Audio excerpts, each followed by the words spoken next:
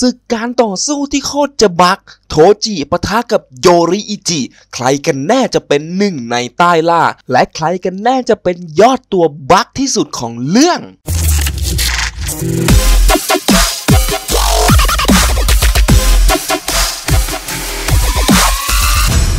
กราบสวัสดีแฟนๆชาวอนิเมะทั้งทุกคนด้วยนะครับ วันนี้เนี่ยเราก็มาอยู่ในประเด็นที่ระหว่างตัวละครอย่างจูสึไคเซนนะครับปะทะกับตัวละครของคิเมสึโนะยายบะนั่นเองนะครับ ซึ่งก็แน่นอนว่าเป็นคำขอน้องๆเนี่ยที่มาจากแฟนเพจ Facebook นั่นเองนะครับ ซึ่งน้องเขาเนี่ยก็ขอมาว่า พี่ชาย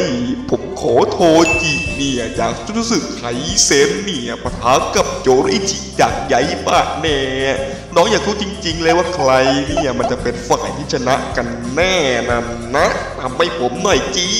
โอเคครับ จัดไปเลยในเมื่อขอมาแบบนี้แล้วเนี่ยทางเราคงต้องกำหนดสเกลพลังเพื่อ battle ตัวละครกันแล้วล่ะครับลำดับแรกเนี่ยก็คงจะเป็นสเกลพลังทางด้าน strength speed durability ability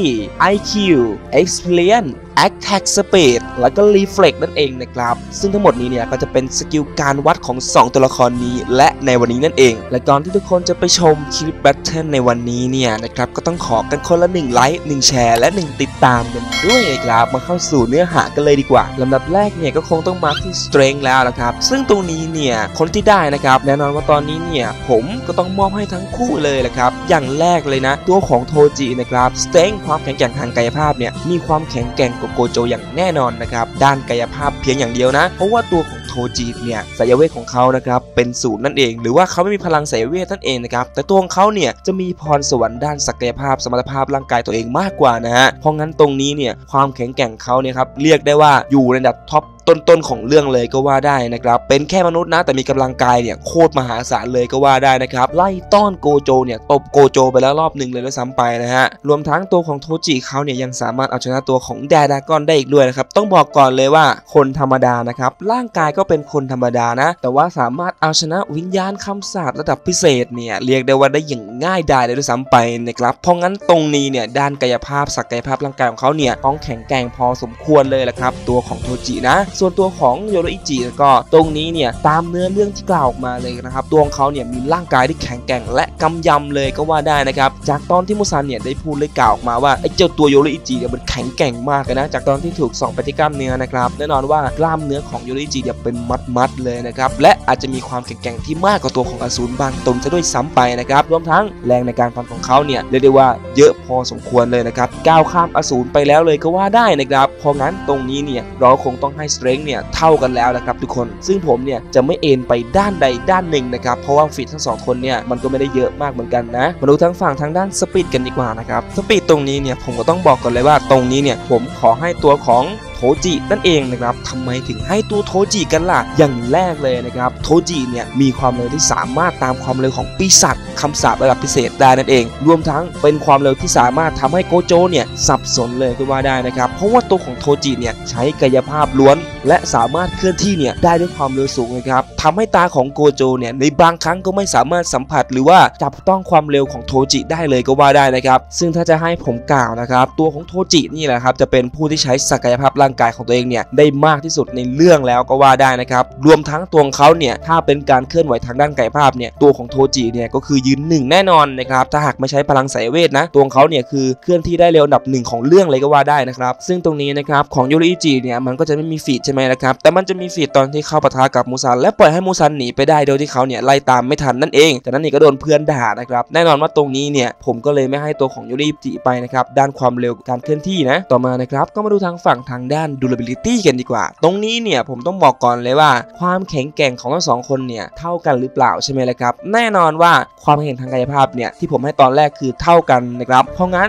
ด้าน durability เนี่ยตรงนี้นะครับต้องบอกก่อนเลยว่าความทนทานเนี่ยต้องพอๆกันอย่างแน่นอนนะครับแต่เพียงแค่ใน feat เนี่ยตัวของโทจินะครับรับการโจมตีของโกโจเป็นไซเว่นเนี่ยเรียกได้ว่ารุนแรงพอสมควรนะครับซึ่งตัวของเขาเนี่ยก็ไม่สามารถทนพิษบาดแผลของพลังโกโจได้นะครับแต่ว่าตรงนี้เนี่ยยังไงซะร่างกายเนี่ยผมก็มองว่าความแข็งทางกายภาพเนี่ยมันเท่ากันกับตัวของโยริอิจินะครับเพราะงั้นความทนทานเองเนี่ยก็ต้องพอๆกันด้วยเช่นกันนะครับถ้าหากรับ damage พอๆกันเนี่ยก็เรียกได้ว่าตายเหมือนกันนะครับทั้งคู่นะเอาง่ายๆก็คือถ้ารับ damage มากเกินไปเนี่ยก็ตายเหมือนกันทั้งคู่ ซึ่งใน feat ของโยริอิจิเนี่ยเราจะไม่เห็นเขาโดนทำร้ายหรือว่าบาดเจ็บสาหัสเลยนะครับแต่อย่างที่ผมบอกไปว่าความแข็งแกร่งสองของคนเนี้ยมันเท่ากันนะครับเพราะงั้นด้าน durability เนี่ยเราให้เข้าเท่าเทียมกันเนี่ยมันน่าจะเป็นผลดีที่สุดแล้วนะครับต่อมานะครับมาดูทั้งฝั่งทางด้าน ability กันดีกว่านะครับแน่นอนว่าตรงนี้เนี่ยผมต้องให้ตัวของโยโรอิจิแล้วนะครับเพราะอะไรทำไมถึงให้โยโรอิจิล่ะครับอย่างแรกเลย ability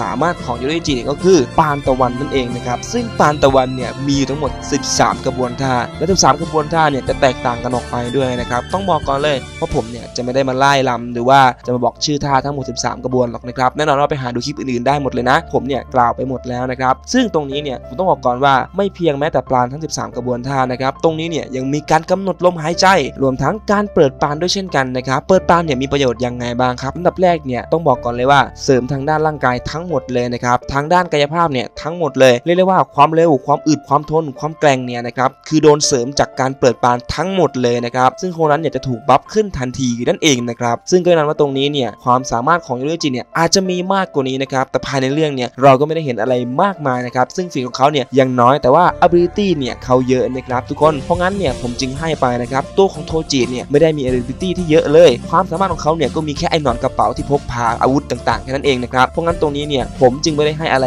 มากนั่นเอง มาดูทางฝั่งทางด้าน IQ กันดีกว่านะครับ IQ เนี่ยแน่นอนว่าตรงนี้เนี่ยผมก็อยากจะให้โยริจิอยู่หรอกนะครับ แต่ว่าตัวของโทจิเนี่ยต้องได้ไปนะครับ เนื่องจากตัวของเขาเนี่ยเป็นยอดนักวางแผนเลยก็ว่าได้นะครับก่อนที่จะมาปะทะกับโกโจเนี่ยตัวของโทจินะครับเขาได้วางแผนเอาไว้อย่างแยบยลแล้วว่าต้องทำยังไงตัวของโกโจเนี่ยถึงจะเสียท่ากับเขาได้นะครับซึ่งแน่นอนทุกครั้งที่เขาจะไปประมือกับคู่ต่อสู้เนี่ยนะครับเขามักจะวางแผนอย่างแยบยลนะครับและซับซ้อนเป็นอย่างมากเพื่อใช้ในการจัดการศัตรูนั่นเองนะครับซึ่งตรงนี้เนี่ยแม้ว่าตัวของโยโรอิจินะครับจะถูกกล่าวภายในเรื่องว่าเป็นอัจฉริยะมั้งแต่เกิดเลยนะครับแต่เราเนี่ยก็ไม่ได้เห็นความอัจฉริยะตรงนั้นมากเท่าไหร่นะครับซึ่งแบบการคิดการวางแผนเนี่ยตัวของโยโรอิจิเนี่ยก็ไม่ได้มีเหมือนตัวของโทจิเลยนะครับซึ่งแน่นอนว่าตรงนี้เนี่ยผมต้องให้โทจิแล้วแหละครับทุกคนต่อมานะครับทางด้านเอ็กเพลียนเนี่ยตรงนี้ผมก็ต้องมอบกับตัวของโยโรอิจิแล้วละครับเพราะอะไรทำไมถึงมอบกับตัวของ โยรอิจิล่ะครับพี่แน่นอนว่าตรงนี้เนี่ยตัวของโยรอิจินะครับมีอายุเนี่ยที่ปาเข้าไปถึงจะ 80 กว่าปีแล้วนะครับเพราะงั้นตรงนี้เนี่ยตัวของโทจินะครับที่อายุ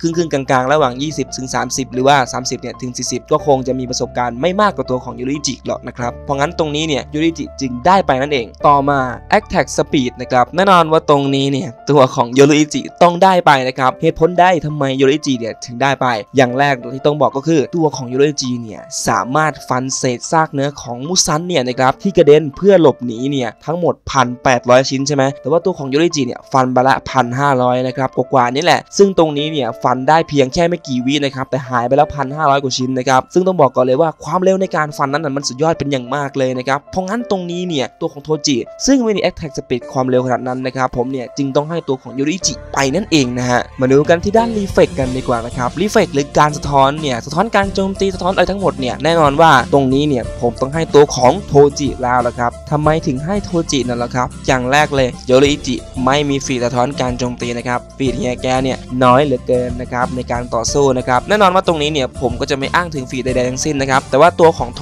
จิเนี่ยก็ยังมี feat อยู่นะครับ feat ในการต่อสู้กับตัวดาก้อนนี่ไงนะครับแล้วก็ตัวของโกโจซาโตรุนะครับซึ่ง2 feat นี้นะครับก็จะเป็นแหล่งอ้างอิงของตัวโทจิเนี่ยได้อย่างดี เลยนะครับ ทุกครั้งที่ถูกการโจมตีของศัตรูเข้ามานะครับตัวโทจิเนี่ยจะสามารถ react หรือว่า reflect กลับไปได้นะครับสะท้อนกับการโจมตีไปได้เอง เอาง่ายก็คือเรียกว่าการเคาน์เตอร์เองโจมตีปุ๊บเคาน์เตอร์กลับปั๊บนะครับซึ่งตัวของโทจิเนี่ยสามารถทำได้และหลายครั้งด้วยซ้ำไปนะครับเพราะงั้นตรงนี้เนี่ยโทจิจึงได้ทางด้าน reflect ไปนั่นเองนะฮะและทั้งหมดนี้นะครับก็เป็นสเกลทั้งหมดที่ 2 ตัวละครนี้ได้ไปนะครับซึ่งก็แน่นอนตอนนี้เนี่ยจะเป็นการสรุปแล้วนะครับว่าใครเนี่ยจะเป็นฝ่ายที่ชนะนะครับแน่นอนว่าผลออกมาเนี่ยก็คือ two way to win นะครับ เพราะอะไรทำไมถึงต้องเป็นผลแบบ two way to win นะครับ อย่างแรกเลย ศักยภาพทางด้านร่างกายของ 2 คนนี้เนี่ยเพียงพอเท่าๆกันเลยก็ว่าได้ ที่เหลือเนี่ยวัดอยู่ที่ความสามารถกับความฉลาดเพียงเท่านั้นเองนะครับ มาดู way แรกกันเลยดีกว่า way แรกเนี่ยจะเป็นทางชนะของตัวโทจิใช่ไหมล่ะครับ แน่นอนว่าตัวโทจิเนี่ยเป็นคนที่ฉลาดและวางแผนเนี่ยในระหว่างการต่อสู้ได้ด้วยเช่นกันนะครับ ถ้าการต่อสู้ครั้งนี้เนี่ยสมรรถภาพร่างกายของทั้งสองคนเนี่ยมันเท่ากันใช่ไหมตัวโทจิเนี่ยต้องใช้แผนและเหลี่ยมของเขาเนี่ยให้ได้มากที่สุดเพื่อจัดการตัวของโยโรอิจินะครับ แต่ว่าก็ต้องระระวังความเร็วในการโจมตีของโยริจิด้วย ซึ่งตรงนี้เนี่ยตัวเขาในการต่อสู้เนี่ยก็ต้องวิเคราะห์ไปด้วยเช่นกันนะครับและวางแผนที่เป็นเล่ห์เป็นเหลี่ยมของเขาเนี่ยให้มันได้นะครับไม่งั้นเนี่ยก็จะไม่สามารถชนะโยริจิได้ ส่วนเวของโยริจิเนี่ยต้องบอกก่อนเลยว่า ถ้าตัวโทจิเนี่ยประมาทนะครับและเข้ามาโจมตีด้วยความเร็วครึ่งกลางนะครับแน่นอนว่าอาจจะสามารถโดนโยริจิเนี่ยฟันเข้าได้นะครับซึ่งโยริจิเนี่ยมีความเร็วในการโจมตีเนี่ยค่อนข้างสูงนะครับตรงนี้เนี่ยต้องบอกก่อนเลยว่าอาจจะมีสิทธิ์ที่จะโดน 13 กระบวนท่าของโยริจิเนี่ยต่อเนื่องนะครับเพราะงั้นถ้าโดนเข้าไปเนี่ยแน่นอนว่าตัวของโทจิเนี่ยไม่น่าจะรอดเลยนะครับทุกคนเพราะงั้นตรงนี้เนี่ยจึงเป็นทางชนะของตัวโยริอิจินั่นเองและทั้งหมดนี้นะครับก็เป็นการวิเคราะห์บทสรุปสเกลของทั้งสองตัวละครนี้แล้วนะครับซึ่งสเกลที่ออกมาเนี่ยมันก็จะมีประมาณนี้ทั้งหมดเลยนะครับและผลแพ้ชนะเนี่ยมันก็จะเป็นแบบนี้นะครับถ้าทุกคนเนี่ยมีความคิดยังไงก็สามารถคอมเมนต์ลงได้เลย ซึ่งพี่เนี่ยจะไปอ่านอย่างแน่นอนนะครับและท้ายคลิปนี้เนี่ยหากใครชอบคลิปนี้ก็อย่าลืมกดไลค์และกดแชร์กันด้วย ที่สำคัญอย่าลืมกดติดตามช่อง Animate กันด้วยนะครับสำหรับวันนี้เนี่ยพี่ซีเออต้องขอตัวลาไปก่อนแล้วนะครับไว้เจอกันใหม่คลิปหน้านะบ๊ายบาย